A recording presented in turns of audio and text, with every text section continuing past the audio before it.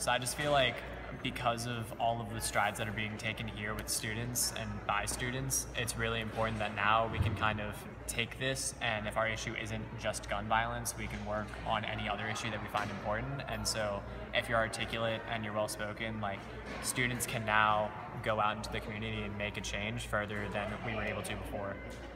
I've always felt like our generation, we were different and we can do so much more than just what the typical adult thinks that we could do. And this was just proof that we can. And if we really set our minds to do something, to make a change in this country or just a change in general, it just shows that we can do it because we have multitudes, we have masses, and we have something no generation has before, which is social media and the power of technology on our side.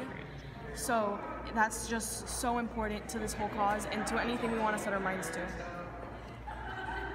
I also think it's very important not only that we are getting a voice now to other people, but that students are paying attention to their fellow students and to the people who are out here saying that there are problems in the United States, especially in a year that is a midterm election, which usually go with low voter turnout.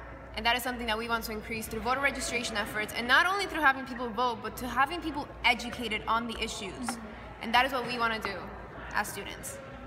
Yeah, I really like what um, has started like because of this so far, and I really think that with being all the students and all the young people being so inspired to do all these things, I really think it'll make a change in our community. And I think with, with the generation that we have now, we're really like we're really dedicated to putting the work into making sure that happens.